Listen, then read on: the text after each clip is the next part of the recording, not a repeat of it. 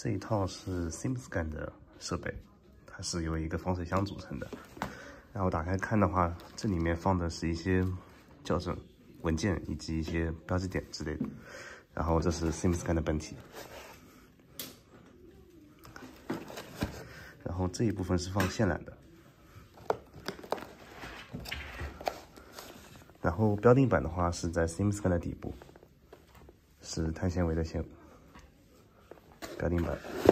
然后整体的话就是由一个箱子组成。